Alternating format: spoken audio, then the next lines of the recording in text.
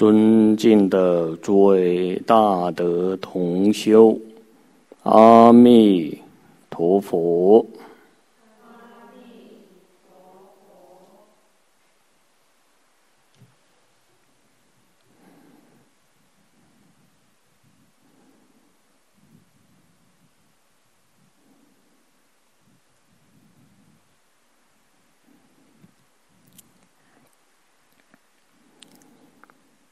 请大家合掌，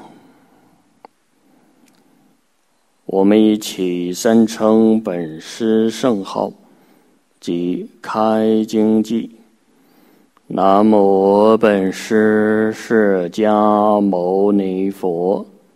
南无本师释迦牟尼佛。南无本师释迦牟尼佛。无上甚深微妙法，百千万劫难遭遇。我今见闻得受持，愿解如来真实义。净土大经科注，请诸位同修先开科注。七百二十八页，七百二十八页，请看第八行。当知净宗称为一行道者。我们先看到这这句话。也是为我们呢，啊，给这个净土法门做了一个定义。怎么说呢？净宗古大德称它为易行道。就修行的难度来说，它没有像其他八万四千法门呢那么高、那么多、那么样的繁琐。我们想要。念佛真正了脱生死，您只要做到四个字就可以了。呃，这个当然是按照偶遇大师的说法，他老人家怎么教我们呢？信、愿、持名。而我们看这一品三辈往生，上辈、中辈、下辈，佛教我们的纲领、宗旨两句话：发菩提心。一向专念阿弥陀佛。其实，偶遇大师所说的那四个字“心愿持名”，跟佛所讲的那两句话是一样的意思，只是佛讲的比较详细，偶遇大师呢讲的比较简略。下面进一步讲，是与于八万三千九百。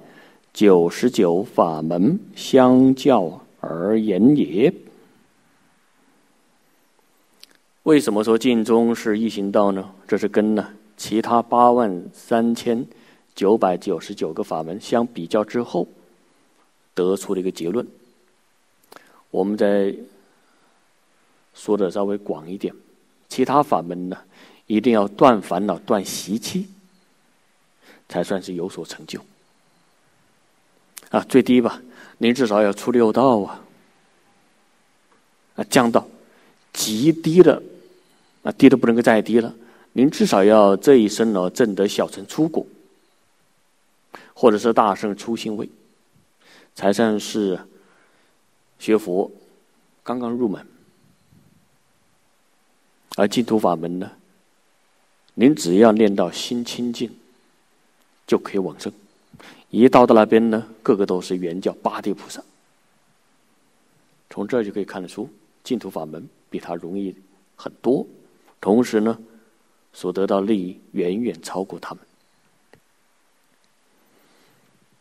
下面呢，再进一步的解释：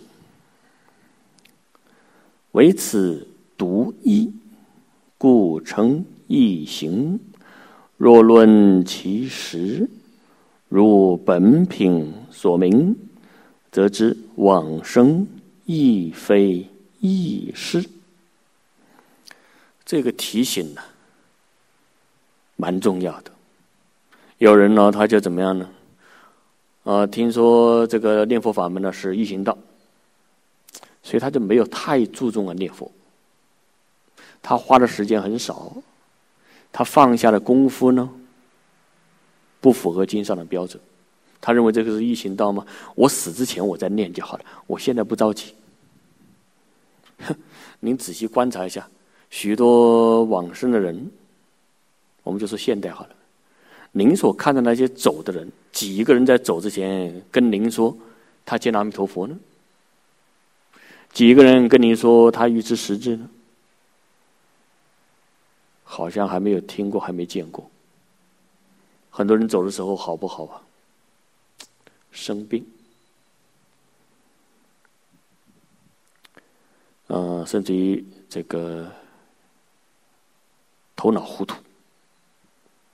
还有《地藏经》上所讲的，他见到冤亲债主来索命、讨债呀，这个都证明他念佛的功夫不扎实。所以我们不要以为说哦，这个一行道是真的很容易修，其实它怎么样呢？还是有一定的标准。标准是什么？就是要练到心清净、心平等。我们常常反省一下自己啊。我今天心清不清净？我今天心平不平等？其实这两桩事情呢，您只要做到其中一桩，另外一桩就得到了。您能够做到清净平等呢，也得到了。您能够做到平等清净，肯定得到。再说的多一点，您能够做到清净，不但平等得到，觉也得到了。大家想想有没有道理？那我们为什么感觉不出来呢？心还不够清净，心还不够平等，心还是迷惑颠倒。所以啊，对于佛所说的意思呢，不得其门而入，这是我们的麻烦。下面呢，在苦口婆心的提醒我们：倘不真为生死。发菩提心，以身信愿一向专念，而欲往生无有是处。这就好像是什么呢？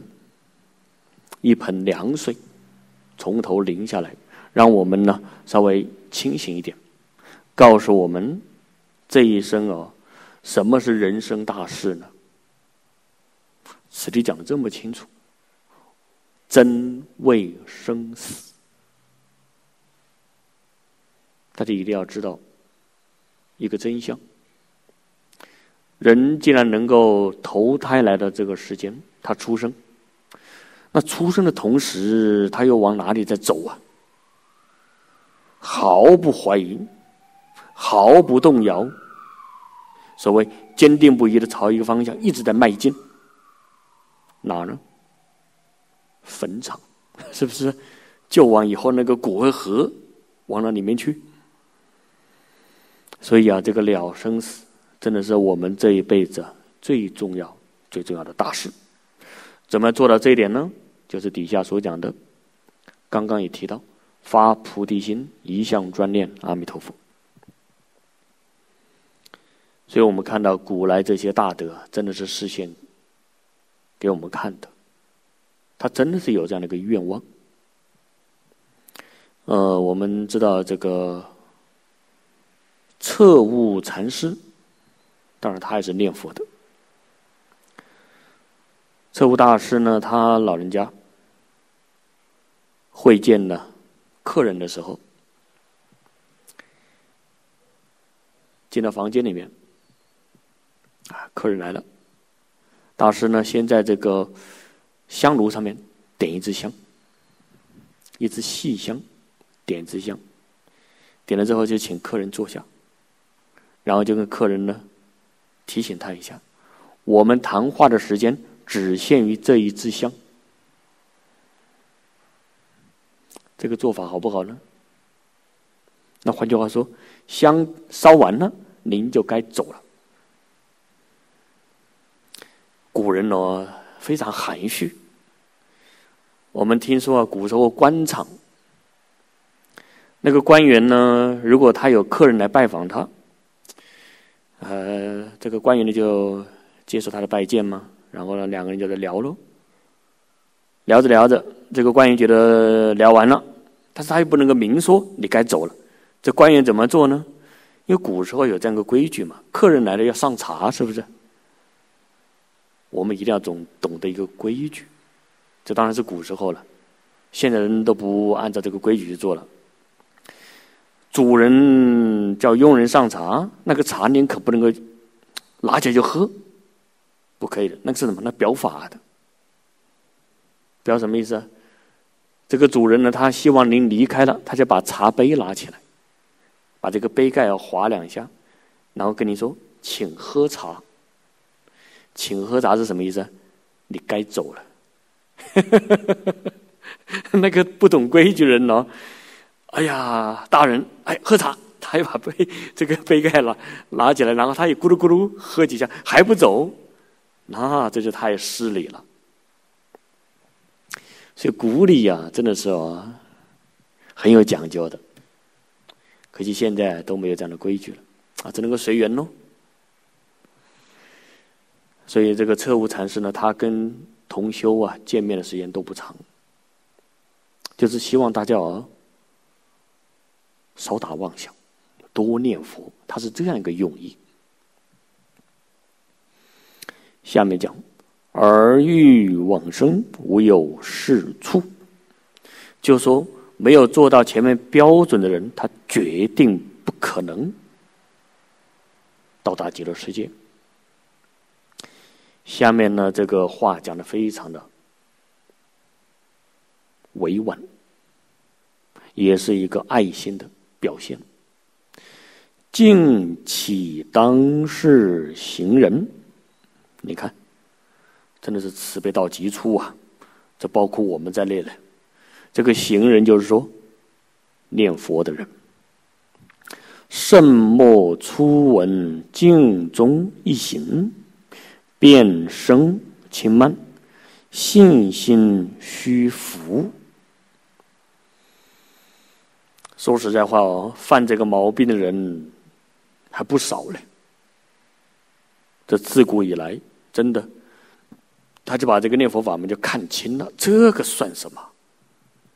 所以早年师傅上人一九八三年刚刚到美国弘法的时候。跟大家讲这个净土法门吗？介绍弥陀经吗？哎，大家一听了，哎，讲弥陀经啊，这有什么好讲的？因为这个经本大家常常念嘛，这些童话小说一样的，没什么。没想到师傅上人呢，在上台之前，先叫人家把他刚刚讲的那个弥陀经书抄录音带，以前是录音带嘛，那个卡带，一个卡带九十分钟。把它叠在那个桌上，先摆好，大概有三百多个，叠起来。台下听众啊，一看就好奇吗，这摆什么？然后那些同学就告诉他们，这个是老法师讲的《弥陀经》书抄啊，书抄讲《弥陀经》呢？对呀，讲《弥陀经》要讲这么多次。是的，把这个录音带一摆上去啊，那台下听众就不敢讲话了。所以哦，很多人呢藐视净土法门，他不知道净土法门看起来简单，实际上怎么样呢？反而越是简单的东西哦，越加的深邃。就讲那个理，而修起来呢，又极其简单。古人说的好吗？大道至简，那个简就是简单。修很容易，但是那个把理呀介绍清楚，一定要有真实的功夫，才能够把它说清楚、道明白。因为这个人呢，他信心虚浮，他肯定就会啊，志愿迟缓，这都是有连带关系的。也就是说，他这个求愿往生的心呢，不恳切，他不着急呀。甚至我们还听说一些哦，都快一百岁的老人家，他还在工作。一百都九十多岁了，再过几年就一百岁了，还要上班。他说呢，我虽然现在记忆力稍微差一点，还能够吃，还能够喝，还能够开车，还能够思考，还能够处理事情，不着急。没错，他是身体不错了。哎呀，可惜这样的长者是没有学佛，不了解到来生后是怎么办。所以我们一定要为以后要着想。底下呢也是他的毛病：口谈敬业，心念尘缘，如是求生，当代驴年。这个话，这个话我们讲了好几次了。您说十二生肖里面有没有驴啊？没有吗？这不就是说你没有指望喽？你这样子不是用真心来念佛的。呃，古大德已经很肯定的告诉我们，没指望，那就在轮转喽。关于这个驴年呢，在佛学大辞典里面还解释了一下：为其无其也，就说它没有期限。没有处理的期限，十二之中无驴名之年，故遂辟，辟就是譬喻，故遂辟无会其也。云门路曰：驴年会摸。中文常说吗？这是这个老法师常常考他的徒弟吗？你会么？那加个驴年。就是说，你到驴年都不会呀，那就是说没希望了。在这个《传灯录》第九卷《古灵章》里面讲：“专他古旨，驴年得出啊，啊，驴年出得。”这个“钻”就是钻进去，“骨子”是指的佛经，因为佛经已经流传三千多年嘛。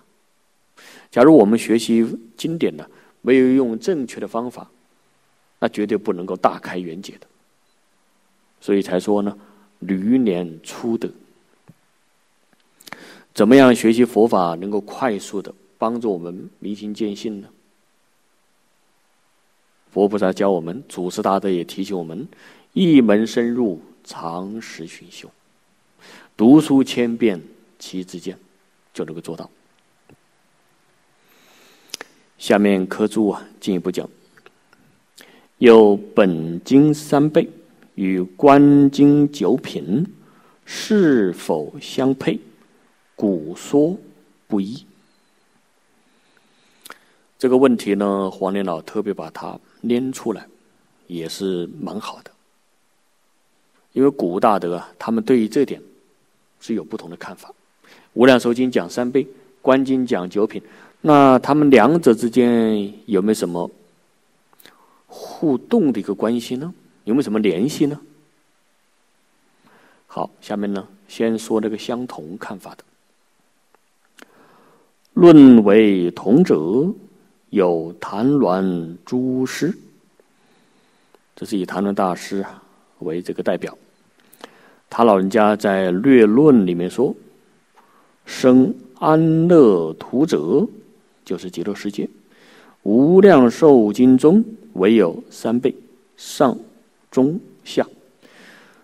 无量寿观经中一品分为上、中、下，三三而九，合为九品。有净影书曰：“这个是隋朝慧远老法师的注解。”他说。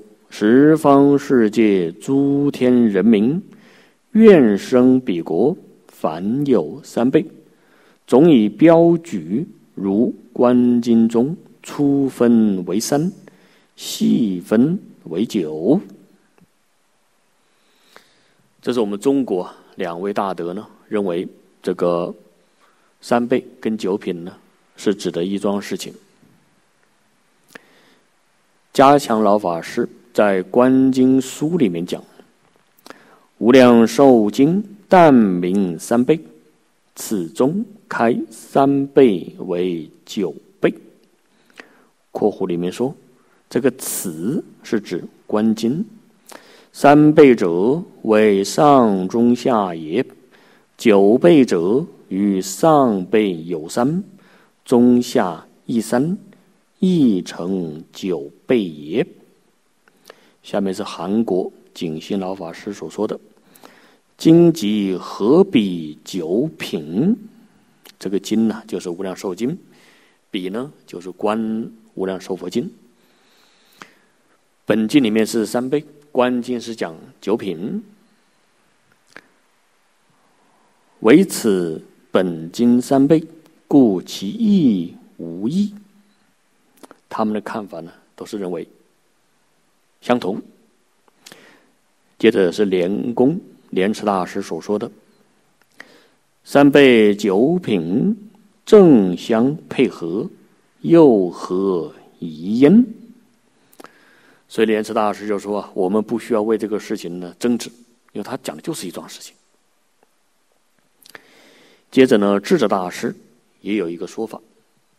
他的注解呢是《观经书》，此经九品，未令十位高下，即大本三倍也。所以天台智者大师呢也是相同的观点。当然呢，也有不同看法的。我们看呢这个下面的说法，这是日本高僧。至于。主张两经相异者，则灵芝、孤山等诸师。灵芝师为三倍，只对观经之上品，不设于六品。那他这个范围哦，就说的蛮窄的了。他是讲呢，这个《无量寿经》的上。上面所讲的这个三倍啊，只是针对于观经里面的上上品、上中品、上下品。那换句话说，下面中品跟下辈怎么办呢？没份呢。好，还有因观经之中品与下品皆未发菩提心也。这是说，观经里面的中品跟下品呢，没有提到发菩提心，而本经呢，《无量寿经》上中下三倍都有讲到发菩提心一项专念。后面孤山稍广，就他的意思稍微广泛一点，为此之三倍，只设彼之上品与中品。不设下三品，因本经中三辈往生者，皆是善人；而比观经中之下三品，皆是恶人。临终忏悔，念佛得生也。是故诸师皆谓两经不能相配也。那么，孤山老法师他的看法呢也是有根据。他确实是从经上看到这一点，所以这个这里面就是说啊，发菩提心。那么这个还有的人呢，他没有发菩提心，都有这个来历。那这两种说法都有根据，我们该怎么去取舍啊？好，我们再来看莲池大师。他怎么样一个呃表示？莲池大师于苏朝中会通上之一说，这个会通啊，也称为和会，就是和会疏通彼此相违的意见。我们用一个比较通俗的话来说，就是把它融合在一起。莲公就讲了：“草庵辅正解约。”这是引用宋朝时候的道音老法师。这个道音老法师呢，他字草庵。那么他有一本著作叫做《辅正解》，他讲：天台以九品同三倍者，这是前面的我们刚刚看到智者大师，他认为这个三倍就是九品，乃曰位次相同，不曰行因而言，则孤山灵芝皆不为天台。所以然者，以天台但曰位次，则品辈，则辈品正同；二是为约行因，则指其终生。你看，这是个人哦，他看的角度不一样。那他是讲的往生的品位，灵芝老法师跟孤山老法师呢？他是从这个行因来说的，所以他们就认为这个三倍跟九品呢不一样。从行音上讲不一样，从果位上来说呢相同。因此，他们是各有所居，取义不同，故不为也。各自呢，这个解释啊，都是以经典作为这个根据的，但是呢，他们是从不同的角度上来观察，而实际上呢，他们这个说法呢，没有什么相违背的。刻实而论，这是从诸法实相上来说，这烦恼不易菩提。这个话一般人听不懂。我们就着它的字面来说，什么意思呢？烦恼跟菩提是一体的。那再说的白一点，烦恼就是菩提，菩提就是烦恼。请问，一般凡夫认不认同呢？他绝对不认同，对不对？我烦的不得了，你说哪里有觉悟啊？这个烦闷的对面就是快乐嘛，一个苦闷的人他哪里乐呢？他绝对无法能够啊接受的。而我们实际上要知道，所谓的烦恼跟觉悟到底怎么回事呢？一个是迷了，就成为烦恼；一个是呢悟了，就成为菩提。当那个迷的人，他到后来。悟了，请问，那是他是不是个觉悟的人呢？是的，我们现在是什么人呢？我们现在是正在觉悟的人，对不对？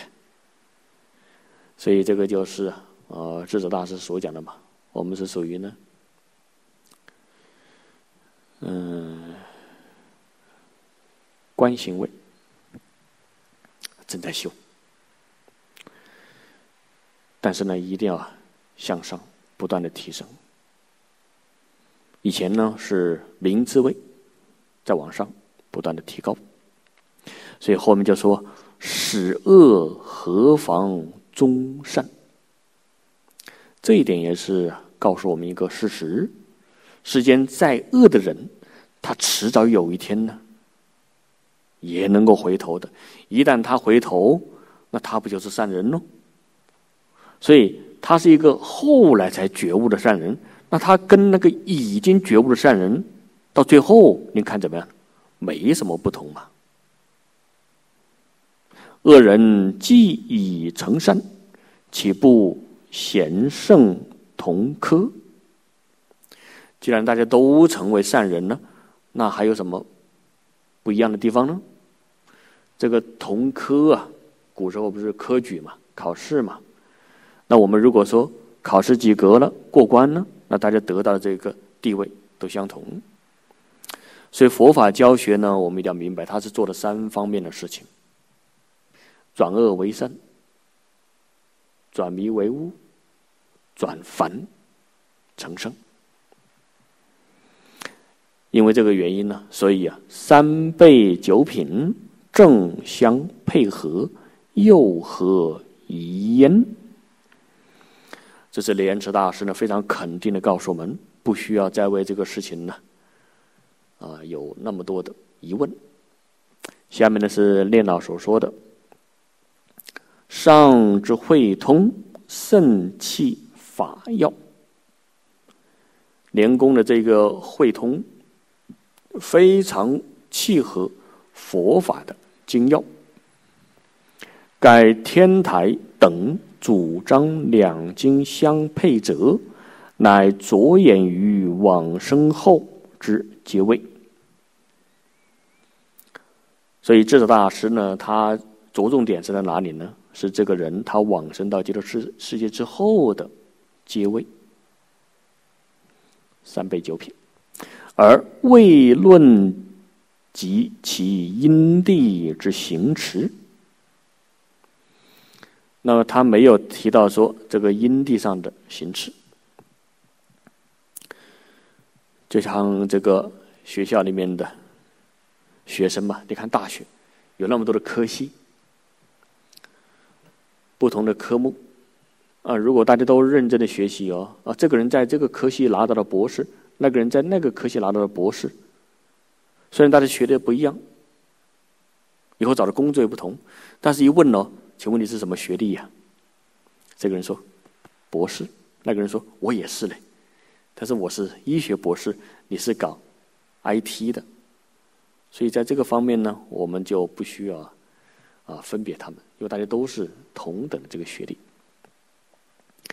而我们到达极乐世界。现在虽然是人道往生，但是只要生到那边，您是什么地位呢？阿不月智菩萨。所以从地球上的人去往生，跟他方世界的天天人往生到那边，我们的地位都一致。地下，灵知诸师只为义者。乃专就因地行持，乃就曾否早发菩提心，与平日之善恶而言。这是这些大德他们看法呢不一样的地方。他们主要是就这个因地行持上来说的。同时呢，也要看这个人呢，他。是不是有发这个菩提心？以及呢，他平常造的是善业多呢，还是恶业多呢？大家如果看了四十八愿第六品呢，你就知道了。就是那个人，他造作极重的罪业，倘若能够在临终之前可以忏悔，能够念佛求愿往生极乐世界，那这个人阿弥陀佛会不会接纳他呢？也会。大家想一想，连那个造作极重罪人，阿弥陀佛都不舍弃他，更何况是我们大家？其实说到这儿，大家去极乐世界有没有信心呢？应该有了吧？其实我们学习科注目的何在呢？不就是要建立大家信心吗？啊，鼓励大家死心塌地，一心念佛。好，下面再讲。则观经之下三平，不能其于本经之下辈矣。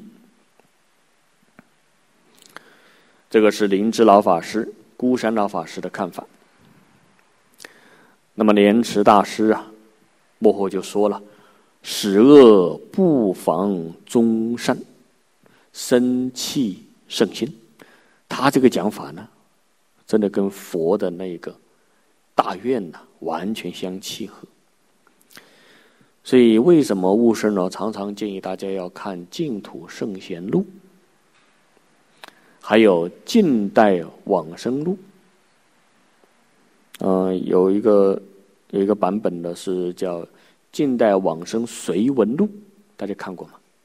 可以看一下，它里面有收录夏灵公呢，有没有看到？看到了。所以我们要知道，这个自古以来这么多的出家在家大德，大家仔细看哦，《圣贤录》里面《往生传》里面，多数人往生是哪一类人呢？是在家居士，而且在家居士里面是吕众居士排名第一。我们大家认同不认同啊？假如现在有男众在场啊，悟生还是敢讲这句话。为什么？你看见现在讲台里面几个男众啊，一个都没有，不知道跑哪去了。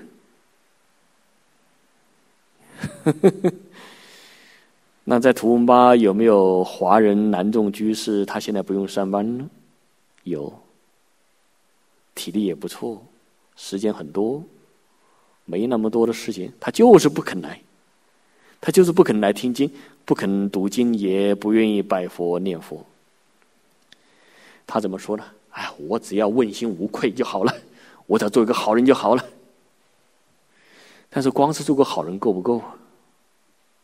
好人能够得到什么果报呢？说的好一点吧，您来生能够再来当澳洲的总理。大家有没有看过我们现在的澳洲总理？他那个头发怎么样？他没当之前头发还乌黑乌黑的，啊，不是乌黑的，他是那个那个颜色。你看现在他的竞选的相片，看到没有？哎，变了，才几年的时间，是不是？操心呢，所以要要我们当总理，我们我们不做这个事情。所以师傅上人当年跟那个前总理陆克文先生呢，在坎培拉会面的时候，师傅就说嘛，这个世界上。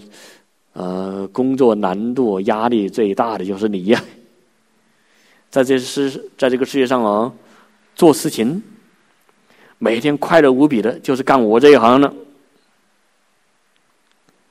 师傅一般不喝不喝咖啡嘛，那陆先生呢？他每天喝多少杯咖啡啊？他不是杯呀，大家知道，像个碗一样的小碗一样的五杯咖啡。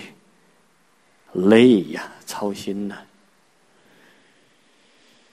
所以我们自己这一生呢，真的一定要把这个念佛当做是最重要的大事。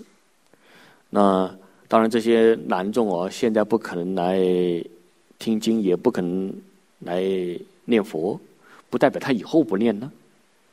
说不定过上几年喽，遇到一个什么呃缘分，他就来了。这就看机缘。佛菩萨是很有耐心的，可以等，等多久呢？可以等上无量劫都没有问题。其实我们有没有被阿弥陀佛等无量劫啊？有。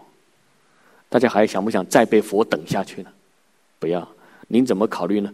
这一生就是我们在六道里面最后一次了，是不是？再来六道里面就不是人了。有说错吗？没有吧？再来就是谁呢？您就是人上人，您就是圣人，就是呢菩萨再来了。我们是来普度众生的，现在来是不得已，非来不可，要受报。所以当年佛就讲一句话嘛，这是蛮感慨的。他说：“人生的真相是什么？两个字，就讲尽了，愁业呀。”愁就是愁偿，该还债的就还债，该欠命的就还命。所以啊，有一些家庭主妇同修啊，他在家里面呢，心不甘情不愿，不愿意不愿意的照顾家人，我们就跟他说：“你不要把这个家务事啊，当做累赘。”你怎么看待这个事情呢？你要把家里的老老少少当做是谁呢？阿弥陀佛。所以您照顾的是佛，要想一下，您太幸运了，家里有这么多佛，一天到晚跟您在一起。只不过他现在是什么佛呢？他是还没有回头、没有觉悟的佛。您是正在走菩提道的这个佛。所以我们对于他们的一些说法、看法、做法呢，不要放在心上。要知道，他就好像是一个喝醉酒的人，当下是在迷惑的。我们是一个清醒人，一个清醒的人哪里会去责怪一个喝得醉醺醺的人呢？不会的。过不了一会儿呢，他就会醒过来的。所以我们要用供养大众的心来看待家人，这个好。再把这个心量扩大，要爱护一切众生。下面是灵芝老法师、孤山老法师的看法。这观经之下三品不能起于本经之下辈，而莲池大师说呢：“十恶不妨中善。”这个讲法跟释迦牟尼佛、跟阿弥陀佛的愿心呢完全相应。恶人临终如能忏悔发心、至心念佛，则恶人已成善人。一般在这个情况之下呢，确实他也是蒙佛摄受，随愿往。生，所以在这个时间呢，有许许多多人从事着这个杀戮的行业，这个业造的蛮重的。所以我们建议诸位同学啊，这个像厨房里面那个厨师啊，假如这个餐馆它不是素食餐馆，它是这一个海鲜餐馆，那个杀意就很重。关于这点呢，我们多少都有点体会。如果您走进一个荤食餐馆呢，那个氛围就比较差。哎，走进一个素食餐馆呢，感觉就比较亲近。每当我们呢做这个伤害众生的事情呢，那个被伤害的众生他是不会轻易放过我们的。他会怎么样呢？一直围绕在我们身边，追随在我们旁边。什么时候，当我们的福报越来越小了，那他靠近我们那个距离呢，就越来越近。等到最后福报完全没有了，他就被这些众生呢附体附身，甚至还进了他的身体里面，拼命的折磨他。对于这些事情呢，佛早就在三千年前就告诉我们了，所以我们在现前呢，要尽量的不跟一切众生再结任何的冤仇，要尽量把自己的功德恭恭敬敬的回向给大家。下面再说，故莲池大师曰：“岂不贤圣同科，同登？”极乐也，由上可见，此经三倍，必经九品，实相配合，不容或疑也。我们看了这么多中外的大德著述，一定要仔细观察他们所依据的经论是什么，一定要把它搞透彻，这样自己才不会。啊，混合不会呢产生这个疑惑。后面再举《报恩论》里面的说法：此经上辈当出家，这个“当”啊就是配合的意思；中下二辈当在家，乃从其多数出取大凡。故云凡有三辈，观今就此大凡略开为九，而又极其优降，以扩无量行因之不齐。此论极好。这个讲法呢，就说的蛮好的。所以三倍九品呢，说句老实话，都是什么呢？都是略数而已，而实际上极乐世界的菩萨品位哪里只有九品呢？前面我们看到了吗？九九怎么样呢？还可以再细分为八十一品。观经中上上品往生者，弹指往生，见佛闻法，即悟无生法忍。维提西夫人呢？你看她所实现的，就正的这样的一个果位，而且跟他在一起五百个宫女，也同时啊得到了殊胜的果报。他们这五百多个人，个个都往生极乐世界。悟生就蛮感慨的：怎么只有宫女呢？那没有其他男子在里面呢？可能因为是呃王后嘛，所以没有男子哦在那边照顾啊这个啊王后。这证明呢，还是女众福报大，从这里能够看得出来。维提西夫人呢，可以讲是因祸。得福，所以他那个宝贝儿子是他的逆增上缘。假如没有他这样子造造反、搞政变，他也不可能这一生呢，呃，往生极乐世界，成就啊无生法忍的大菩萨。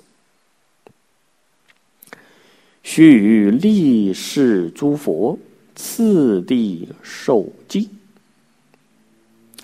这个须臾是说时间呢很短暂。只要证得这个七地以上的菩萨，那就是无生法忍的菩萨嘛，他就可以分身呢，到十方诸佛刹土，上供诸佛，下化众生。大家可要知道，当您见到佛的时候，佛不但给您讲开示啊，他也给你怎么样呢？也给您摩顶受记。那个摩顶就是加持的意思嘛。而这个分身出去的无量无边。那它本身在哪呢？本身在极乐世界，还至本国得无量百千陀罗尼门，是乃三辈中极优者也。这是讲到呢念佛人当中果位最殊胜的上上品，他是啊。得无量百千陀罗尼门，是乃三辈中极优者也。所以，我们修行呢，可以说要知道啊，这个往生的品位高低不不同，取决于什么呢？一个是发大心，另外一个就是大家的心呢，到底有多清净。所以我们这一辈子。那个发大心，绝对不不能够跟世间人发那个心一样。世间人发什么大心呢？追名逐利，这是他最大的愿望。所以你看到，同样一桩事情，不同的人他观点就不一样。像那些政治家啊，现在要要竞选什么这个官员嘛，他投票。这个时候他特别紧张，而我们学佛人，我们对这个投票在不在乎呢？不在乎。而且我们现在对于那个投票还蛮小心谨慎的。为什么？投下那个票，你如果投错的那个人，请问那个投票人要不要背因果？那我们要遵守澳洲的规定嘛？澳洲说了吗？如果不去投票，要被罚款五十块钱，是不是？还不止啊，啊，可能更高。总之会被罚款嘛？那我既投票也不背因果，我怎么投票呢？很简单，他不是要你填号码吗？你全部填一样的号码不就好喽？他不说一二三四五六七八九十十二个吗？你全部都都填一，他就无可奈何了，他不会找我们麻烦喽，变成一张废票，所以就不会有事儿了。因为我们现在也不知道谁将来主政啊，不会做错事情。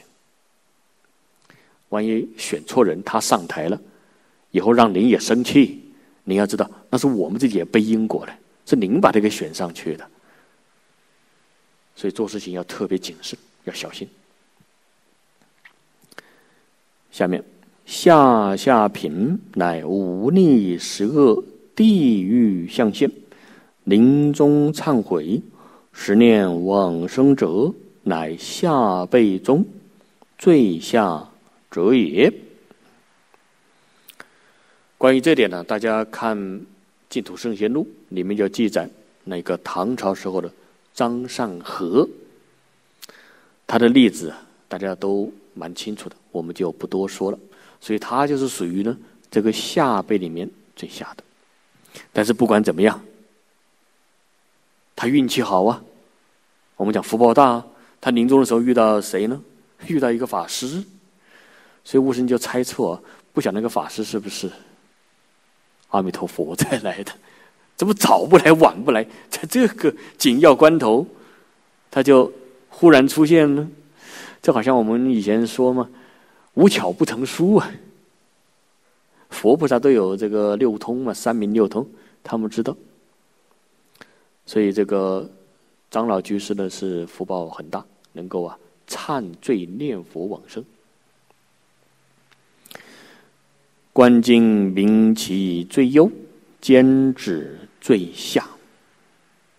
所以官经呢举了两个例子，一个是上上品，另外一个就是下下品，一头一尾，故谓极其优降。优等的就是上上品，降到最低的呢就是下下品。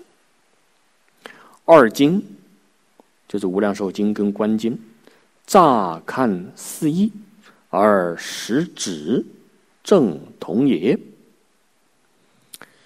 这两部大经呢，初看起来好像是不同，但是这些人都怎么样呢？最后都念佛往生了。往生之后的品位如何呢？居然都是阿维月智菩萨，那就是圆教八地菩萨，所以这个品位相当不错啊！作为同修，正因为这个样子，这是真正明白这个道理的人呢。他对这个品位高下，他不太在乎。当年偶一大师在世的时候，曾经有人请教他一个问题。您老人家往生极乐世界，您觉得证得什么品位就知足呢？我一大师就说：“我下下品就可以了，我就很知足了。”他不求吗？啊，只要我能够去，我就很满意了。所以我们自己的这个念佛呢，要专心。其实您还在分别上品、中品、下品呢，这就是自己啊心还不够清净，一直念下去，如同贤公老和尚所讲的那句话：“不拐弯。”我们念佛不拐弯，那后来就到哪里去呢？就到极乐世界。如果您念佛常常拐弯，就到哪里去了呢？就又拐回来了，那就麻烦了。那可不行，那又出错了。下面分数三倍，首名上倍。好，讲这个三倍嘛。那首先按照这个顺序来说，先讲这个上倍。这个上倍的部分呢，又分为三个小段。第一个小段呢是上倍因行，讲它的因，讲它的行持。怎么修的？它具足哪些因？这个是我们要啊，把它掌握住。请看底下经文：其上辈者，舍家弃欲，而作沙门。下面再解释：经中上辈往生，是否凡夫有份？乃经中。一大问题，古德有谓：“是乃菩萨之行。”（括弧里面举个例子，如为上上品，需四地至七地之菩萨。这是古人当中啊，确实有人呢提出这样一个看法。他说呢，往生到极乐世界上上品，必须要什么样的菩萨呢？四地到七地菩萨，这相当高嘞。括弧里面在讲，上中品须初地至四地之菩萨，余力啊，余可力推。中品中生及以下，才是凡夫所能达。这是古人的见解。若如是者，则弥陀大愿之无上，西方莲国之独妙，持名法门之易行，往生妙法之殊胜，皆成细论。这个总结就好了。明明这是个什么法门呢？古人不是总结了一句话吗？叫“不可思议解脱法门”。如果您把这个辈分呢分的那么高，画的那么高，那不就是把阿弥陀佛这个宏愿当做什么开玩笑的嘛？那那就是说，前面这些大德所讲的话，那是黄仁老绝对不认同的。跟经典经义啊不相契合。底下再说，只使不可思议之境中妙法，亦复成为可思议之法矣。故此实为境中之关键。前于本解二概要中，虽略论一二，未尽其旨。是更详之。这个我们在前面呢学习这个玄义的时候呢，有简单的看到过啊黄连老的这个解释，但是他觉得还讲的不够详细。下面呢他还会啊继续的做一个更加深入的说明。古说之非，你看这就完全否定了前面那个看法。就是前面所讲的，完全不符合事实真相。幸得唐善导大师广引经论，力破旧说。的的确确，我们是很幸运呐，能够看到善导大师的著作。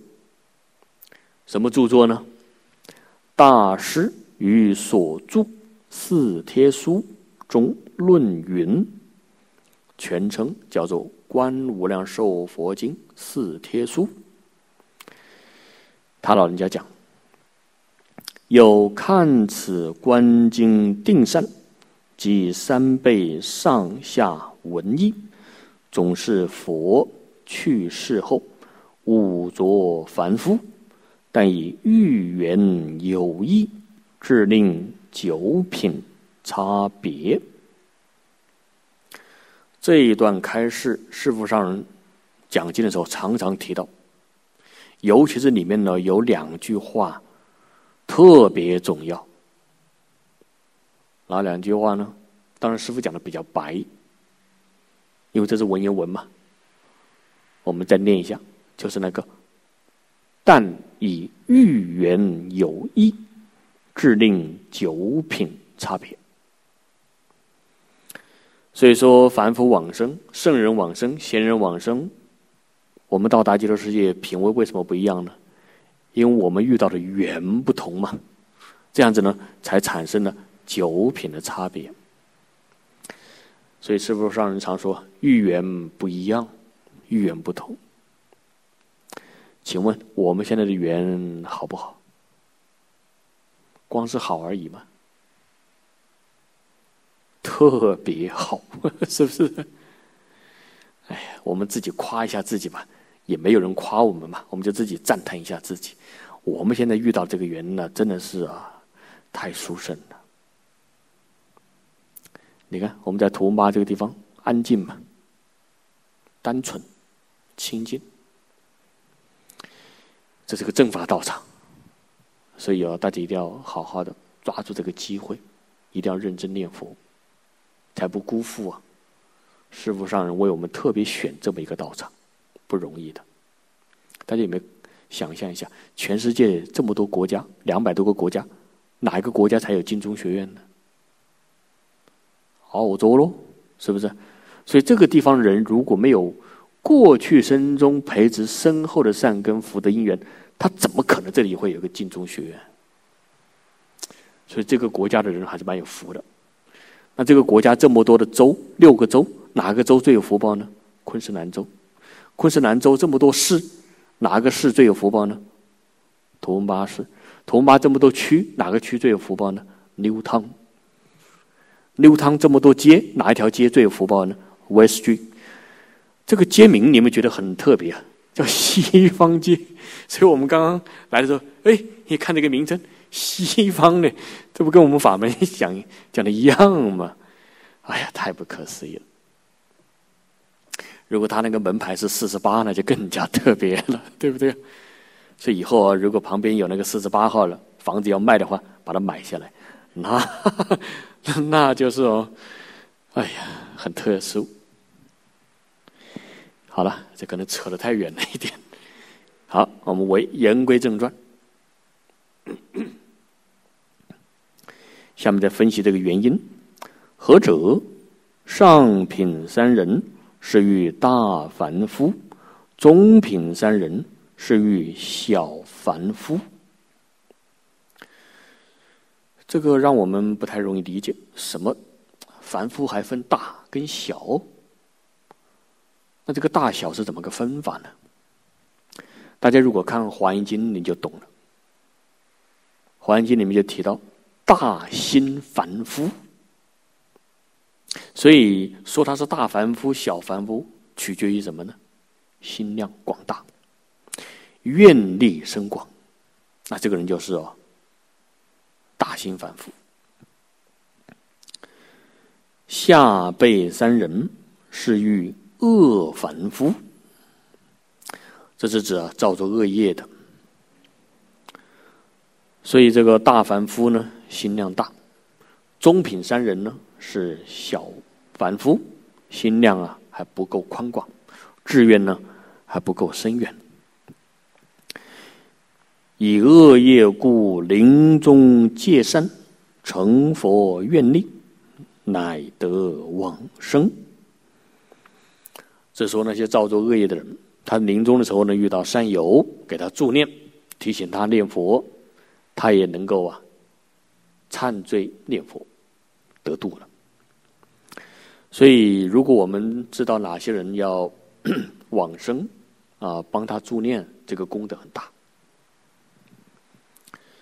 当然，这个助念呢，也有套规矩，最好是大家都懂得这些方法，理念要一致。就怕啊，这个助念的同修，我们讲一个助念团嘛，助念团如果说这第一个小组的做法跟下一班第二个小组的做法不一样，就很容易让那个被助念的人呢产生困惑，他就不知道该怎么念，所以一定要啊方法要统一，这样才好。后面道比花开，方始发心，何得言是始学大圣人也？这个是 古大德为下品是大圣始学凡夫，这是呢不正确的。大圣始学凡夫应该在九品里面是上辈下生。若作此见，自失误他，危害滋甚。所以我们对于经典的理解呢，一定要正确。千万不能够人云亦云。现在很多人怎么样呢？他自己不肯深入经藏，啊，听到某某人怎么说，他就以为他讲的是对的，啊，那就就把人家的话呢再复述，甚至于还添油加醋，这就会以讹传讹。当然这样子做，他也是要负这个因果。下面，书中复引观经十则，以正其说之不具录。上了大师啊，他引用了观经里面的实则，来证明他的这个说法。但是黄连老这个注解里面呢就没有收录。下面呢，悟生就把它补充出来，念给大家听一下，因为它非常重要。在观，在在《观经四帖书玄义分卷》第一卷讲，自自自失误他，为害之甚。今者以吸取佛说以为明证，就此正中即有其十句。第一，如《观经》云：“佛告为提，我今为汝广说众辟。”这个“辟”呢，就是说比喻。一定未来世一切凡夫欲修净业者，得生西方极乐国土者，这是第一个证据。二言如来经者，为未来世一切众生为烦恼贼之所害者，说。清净业者，三言如来经者教为提息，即未来世一切众生关于西方极乐世界。观经呢，我们知道它被也被称为十六观经。前面的十三种观法呢，叫做定善。所以啊，修成这个念佛三昧呢，才能够往生。不过呢，前面十三种观法呢，也挺不容易把它修成的。他后面三个呢，不是讲的定善，他是讲修福啊，也能够往生。尤其是最后第十六关是信愿持名。所以我们看了这个第十六种说法。大家往生极乐世界啊，把握就蛮大的。支持名号嘛，这个人人可以做得到。第四个，言为提白佛，我今因佛力故，见彼国土。若佛灭后，诸众生等作恶不善，无苦所逼。云何当见彼佛国土者？这是维提西夫人呢，蛮感慨的。他说他有福报嘛，能够见到阿弥陀佛，能够见到极乐世界。那后世众生呢，就没有这样的一个因缘了。五如日观出云，佛告为提：汝及众生专念以下。乃至一切众生，自非生盲有目之徒，见日以来者。这个十六观，第一个观呢，就是讲看太阳，日观。他就找一个每天能够看到太阳下山的这个地方，天天就观这个太阳。一定要观到什么程度呢？不管您是睁开眼睛还是闭着眼睛，都能够看到那一颗红彤彤的太阳。大家要不要？哦，这几天没办法，这天是下雨天。您呢，如果有这个空闲时间，也可以试试看。真的要做到这一点，都相当不容易呀。第六，如。地观中所言，佛告阿难：入持佛语，为未来世一切众生欲脱苦者，说是观地法。这是佛呢特别嘱托啊阿难尊者，要把这个佛法呢传承下去。七如花座观中所言：“唯体白佛，我因佛力得见阿弥陀佛及二菩萨。”这个二菩萨呢，就是指的观音菩萨、大势至菩萨。未来众生云何得见？现在到了末法时期了，我们能不能够见到这两位大菩萨？那就看大家的福报跟因缘了。八次下达请中说言：佛告为提，汝及众生欲观彼佛者，当起想念者。这个想念就是说，观想念佛。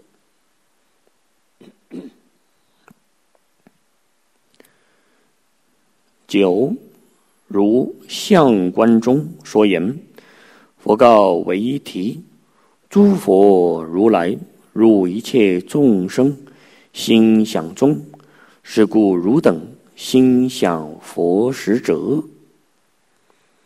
这个是第九个证明。最后一个，如九品之中，一说言为诸众生者，上来 上来虽有十句不同，证明如来说此十六观法，但为常默众生不干大小圣也。这个常默众生呢，就是指轮回六道里面的众生，不干大小圣，就是说和大圣小圣不相干。以思文正岂是谬哉，有了这些经文的证明，那我们就知道佛所讲的话一点都不假，都是真实的。好，我们继续看这个科注，七百三十二第三行，这是善导大师所讲的。大师执事，极乐九品莲台，均是浊世凡夫往生之位，唯因世间欲缘有大圣小圣之差异，故往生后有上辈中辈之不同。经中乃最极圆顿之教，大根大气之凡夫，若能信受，圆解圆修，则与常人日节相悖。什么叫日节相悖呀？下面呢再解释了一下：圆人修一日，等于常人修一节。故能一生公园，径登上平野。这就说明呢，这个往生到极乐世界啊，上品，我们一般人有没有份呢？大家不应该摇头，您摇头那无声白讲了。我们有没有份呢？哎，大家反应蛮快的，赶快就变成是点头了。我们上辈往生也是有份的，怎么做最好呢？前面不是有提到吗？大凡夫、小凡夫，现在关键就看大家啊，心量要把它敞开。我们念念不为自己设想，我们念念为呢尽虚空变法界一切众生着想。我的愿望就是想早一天升到极乐国土，清净。诸上善人，这包括西方三圣嘛？此地呢也特别讲到啊，猿人修一天，等于我们一般人修多长时间呢？一个大劫。哎，他为什么修那么短的时间，超过我们修那么长时间呢？还是在于人家怎么样？他放得下。所以佛门有这样一句话也讲得好。是讲出家的法师，他说呢，呃，老生一炷香，能消万担粮，那个粮食的粮，就是他自己啊，不管是打坐还是啊念佛，他那一炷香就是一支香嘛，他修那么短的时间，可以消化人家对他万担粮的那个供养。等于说他在这么短的时间能够积累很大很大的功德，这当然都是指猿人、心清净、心平等、心觉悟的人，他能够做到这一点。所以后面就总结嘛：“故能一生公园，径登上平野。”这个“径”呢，就说直接。所以我们看到贤公老上。你看他老人家这一生呢，就是上辈，还有，呃，地仙老上的徒弟郭路将老法师，那绝对是上辈了。我们虽然没有看到相片，可惜没有相片。如果有的话多好，如果能把它录下来多好。假如手机早点发明多好，对不对啊？那就把它拍下来嘛。现就本经兼采舆论。以明三辈往生，是为凡夫兼及圣人。这个话一讲出来啊，我们就特别安心了，因为这里包括谁呢？实实实在在为谁呀？为了凡夫呢？也包括谁呢？大圣、小圣。所以三辈哦，不是说只有。上辈人、中辈人才行，我们呢也有这个机会的。经中必成正觉品，记曰：这是第七品的寄送。令彼诸群生，长夜无忧恼，出生众善根，成就菩提果。我若成正觉，立名无量寿。众生闻此号，俱来我刹中，如佛金色身，妙相悉圆满。这就引用了本经里面的寄送，给我们做证明。这个话不是菩萨讲的，也不是阿难尊者说的，谁讲的呢？是佛自己讲的。后面念老就解释了，首就是一开始。首四句名大愿之由。为什么阿弥陀佛要发这个四十八愿呢？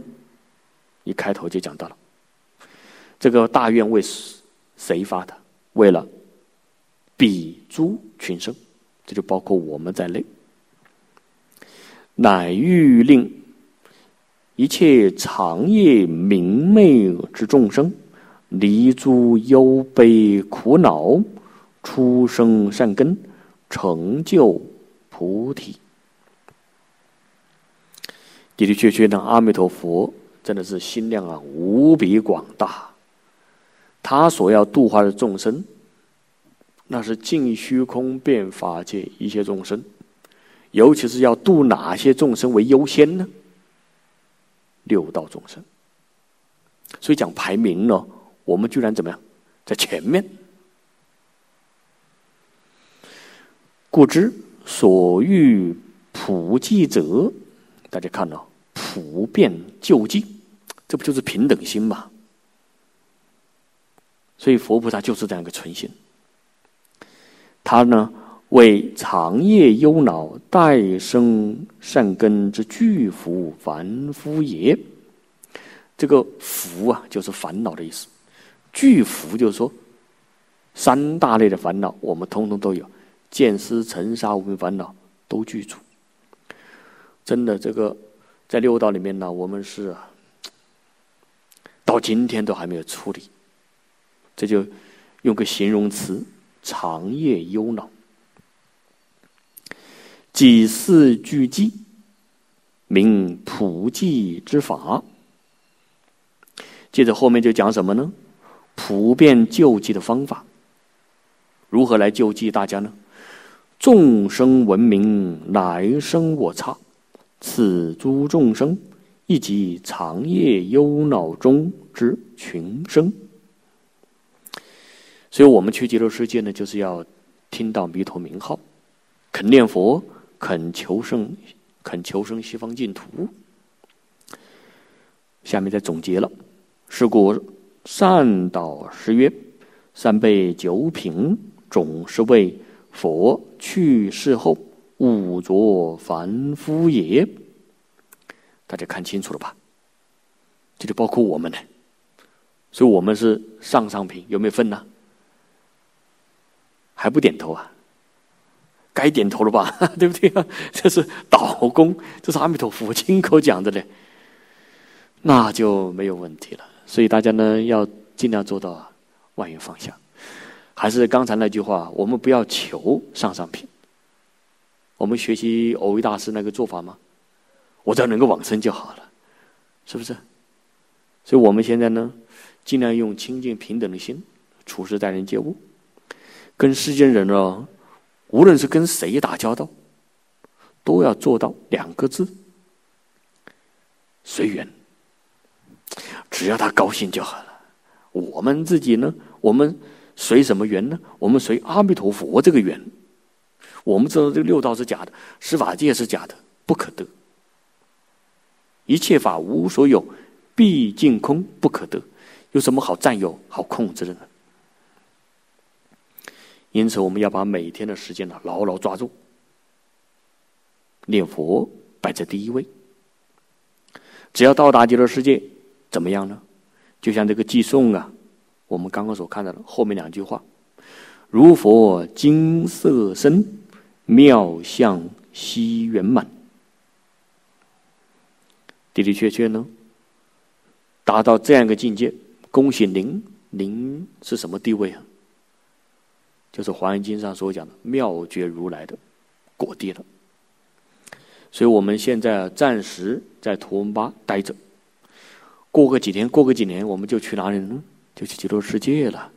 说您在现前，何必还跟人家斤斤计较了？何必还跟人家生气呢？还自己烦的不得了？说句实在话，没有任何人让您生气的，只有一个人让您生气，谁呀？自己跟自己过不去，那没办法了。那为什么自己跟自己生气呢？还是没有看清楚真相嘛。所以要把《金刚经》里面那句话常常提起来：“凡所有相，皆是虚妄。”您这个火气哦，马上就化解